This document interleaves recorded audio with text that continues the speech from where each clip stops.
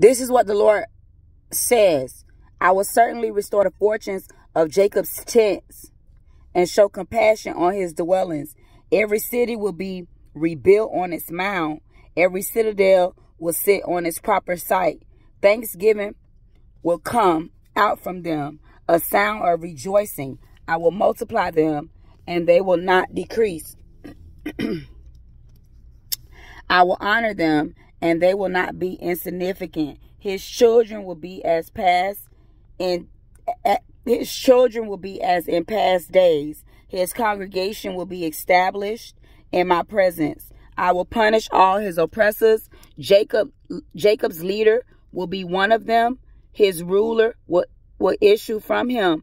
I will invite him to me, and he will approach me.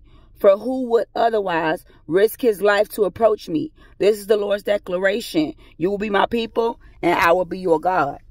This is what the Lord your God says. God is getting ready to restore for his glory. This is the Messiah's Jubilee. Be blessed.